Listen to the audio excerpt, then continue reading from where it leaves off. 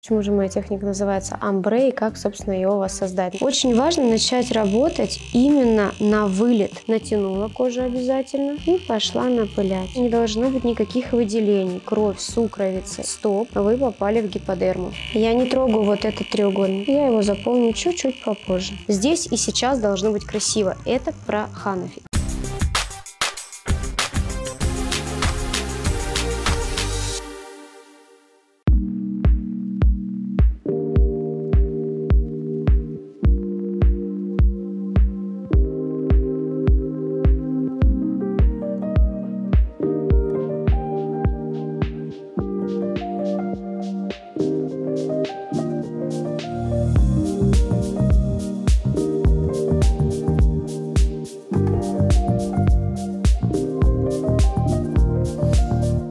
Привет, меня зовут Юлия Донченко и вы на канале Hanafi Colors Pigments. Сегодня я продемонстрирую вам перманентный макияж бровей в технике амбре. Юлия Донченко – топ-мастер перманентного макияжа, дипломированный художник, тренер, основатель Международной академии Permanent Fox в Москве и Краснодаре, многократный призер чемпионатов, спикер и участник профессиональных конгрессов, выставок, конференций. Юлия – автор собственных уникальных техник перманентного макияжа макияжа и двух методических пособий для мастеров. Является основателем Центра по лазерному удалению некачественного тату и перманентного макияжа. Мы почти закончили наш эскиз. Рисовка была с помощью карандашей. Это белый для фиксации и самозатачивающийся карандаш. Мы поставили точечки на этих частях бровки у начала, у самой темной части. Конечно же, фиксируем апекс. Не боимся ставить пожирнее точки. Они у нас не столь широкие. Ручка пилот. Обязательно нужно зафиксировать себе те места, которые будут самыми светлыми. Визуально это будет у нас треугольник. Как проверить, действительно ли все ровно, без линейки? Раз. Видим, да, нахмурили бровки, вот наши точки соприкосновения, они все ровные идеально. И два. Таким образом мы тоже видим, что все у нас четко и ровно.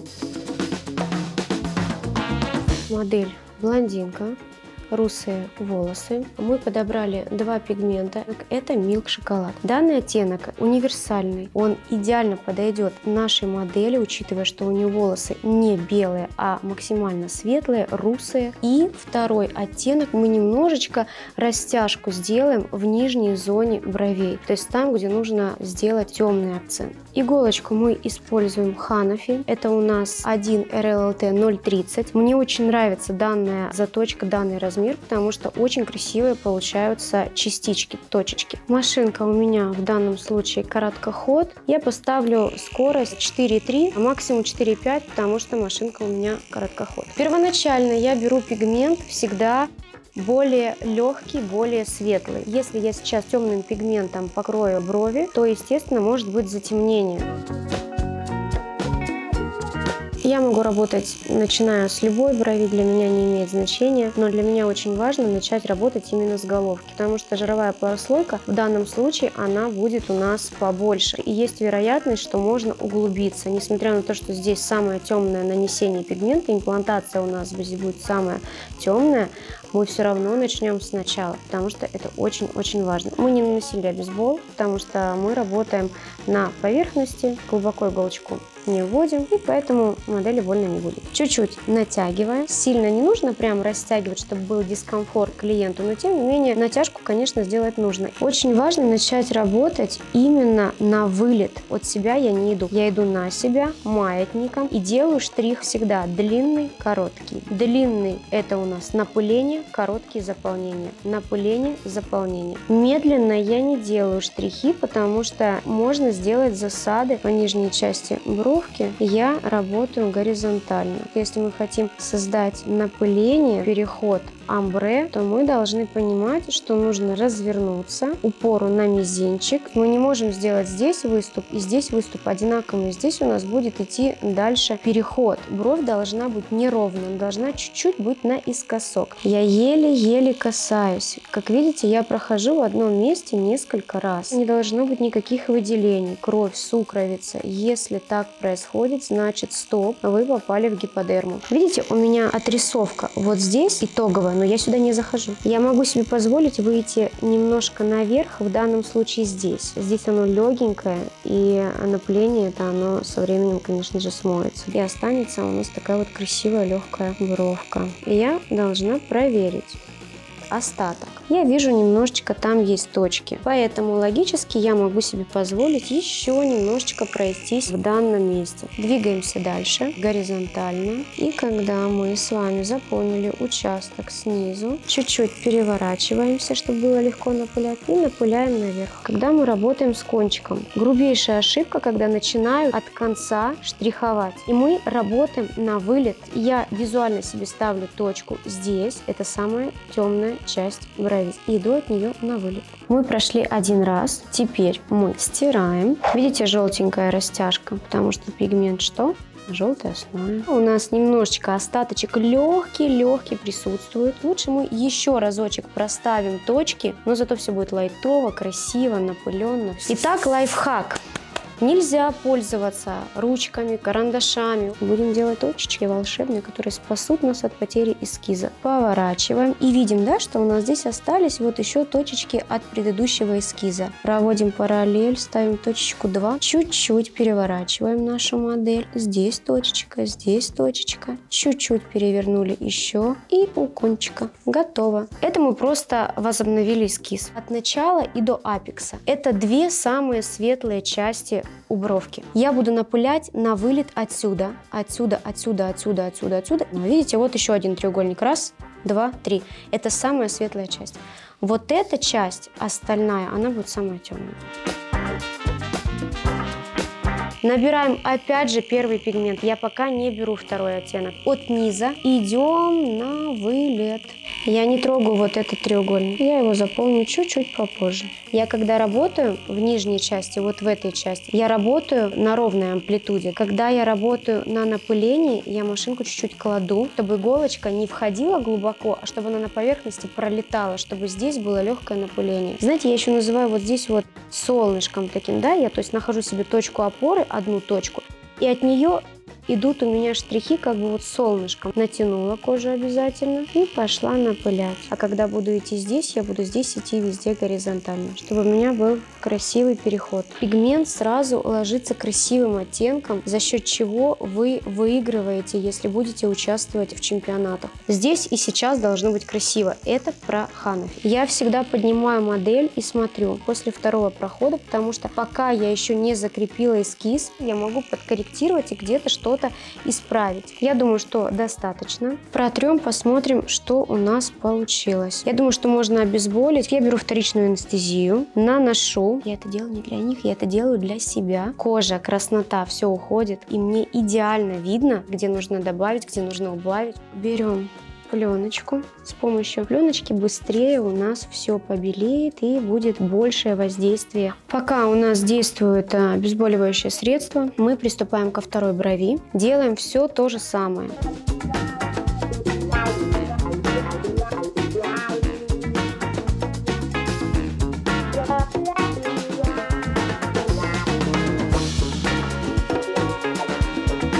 Ну что, друзья, мы переходим к самому интересному. Почему же моя техника называется амбре и как, собственно, ее у вас создать. Ну а пока хочу вам сказать следующее, тоже немаловажная информация. В магазине Ханафи действует скидка 10% по промокоду, который вы сейчас видите на экране. Воспользоваться ей очень просто. Вы переходите на сайт Ханафи, заходите в раздел «Пигменты», выбираете любые, какие вам только понравятся, закидываете их в корзину, вводите промокод и скидка ваша. Приятных покупок. Берем пигмент, в данном случае Dark Blonde, он у нас будет использоваться для растяжки. Мы просто хотим немножечко придать темноты, тени нашим бровям. У нас есть светлый треугольник, а затем второй по оттенку и уже идет насыщенная часть. В данном случае визуально я эти треугольники держу у себя в голове. Начинаем с самой нижней точки сначала и двигаемся на вылет. То есть я теперь себе здесь визуально рисую такую вот бровку, как бы мини не бровь, да, я иду по низу. Я ни в коем случае на вторую часть брови, вот на вот эту, не зайду этим оттенком, иначе я просто все испорчу и будет плотная сплошная бровь. Я иду снизу горизонтально и иду сверху вертикально. Просто я пытаюсь красиво это все уложить, красивенько его имплантировать, потому что оттеночек темненький и нужно с ним работать крайне аккуратно. Мы проходимся вторым оттенком по нижней части бровки. Никогда не забываем, что кончик мы всегда должны убрать с косточки. Здесь уже от этой части, да, от серединки, мы можем себе позволить немножко возвыситься. И обратите внимание, сколько бы я ни проходила, где бы я ни проходила, я работаю в правильной глубине, я не попадаю в гиподерму, и значит у меня все будет хорошо заживать, и у клиента не будет никаких серых, зеленых, красных и так далее проблем в будущем с эмиграцией цвета. Видите, здесь я начала идти чуть-чуть, чуть-чуть по низу и чуть-чуть расширяю, как бы вот делаю такую дымку. Все, в данном случае больше этим пигментом я не буду ничего делать. Я прошлась, создала эффект амбре и получиться должна очень красивая растяжка. Теперь мы стираем. Если у вас остались вопросики, можете их задавать. Это тоже будет очень приятно, значит, вам было интересно мы видим с вами, да, что у нас присутствует градиент. У начала уголовки бровки более светлый, пигмент. Отсюда идет уже более холодный пигмент и уходит в кончик. Что нам нужно сделать? Теперь нужно пройти еще разочек, но уже не холодным вторым оттенком, а третьим и заполнить пустоты, которые мы видим. Выравниваем наш низ бровки. Здесь у нас еще остался второй оттеночек, он темненький, не забываем, поэтому работаем очень-очень-очень легенько. Видите, я делаю какие поступательные движения, и у меня они собираются в такие маленькие точки точечки. Я не веду сплошмя ровную полоску, я ее создаю напылением. Когда бровь заживет, она заживет дымкой. В данном случае должна быть лайт-версия легкая, легкая дымка. Когда мы с вами говорим о начале бровки, самая длинная часть у нас должна быть внизу. Как это сделать, чтобы это не было четко? Мы доходим до начала максимального, который можем себе позволить, и хаотичными движениями выбрасываем горошек, да, так сказать, точечки, горошек я называю, и солнце солнышко. Помните, да, про солнышко? Опора всегда на мизинчик, никакой четкости. У нас прорисовываются точки. Конечно, желтый остаточек присутствует, но мы потом клиенту объясним, что все будет красиво. Здесь у меня вот просветы, мне их нужно выровнять. Натягиваю кожу и все это дело поправляю. Потом я возьму еще раз второй оттенок и пройдусь им чисто только у кончика низ и кончик от апекса до кончика – это самые темные части в бровке. Я сейчас хаотично выбираю определенные места, которые мне кажется необходимо затемнить. Но опять же делаю растяжку на вылет наверх. Сильно высоко не поднимаюсь. В начало бровки мы не входим данным пигментом, мы им растягиваем только по низу бровки, доходя до серединки. Пускаем нашу бровку с косточки и на вылет заполняем кончик. У нас девочка светленькая, не только волосы, но и сама кожа. Пигментик у нее лег определенным форматом, то есть он дал немножко иммиграцию цвета, но потом цвет станет русым, максимально схожим с ее волосами. Можно сделать еще подобные точки. Я их не очень, если честно, люблю, поскольку не вижу в них смысла, но можете посмотреть еще, как это делается. Это должно быть красивое напыление, но в коем случае глубоко это не делаем. Мы убираем остатки пигмента. Вот такое легкое напыление у нас получилось. У самого начала более светлый оттенок, здесь более теплый, а дальше идет более холодный оттенок – и вы видите эти точечки. Можно пройти, конечно, еще немножко, но я думаю, что это можно сделать и на коррекции. В первую процедуру я стараюсь максимально, минимально внести пигмента.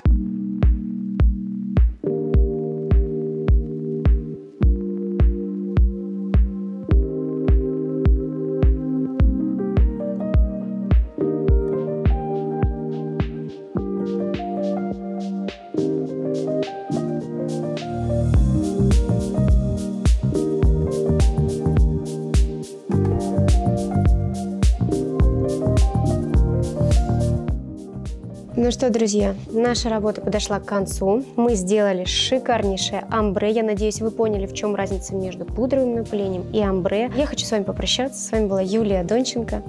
Ставьте лайки, подписывайтесь на наш канал и увидимся с вами в следующем эфире. Пока-пока.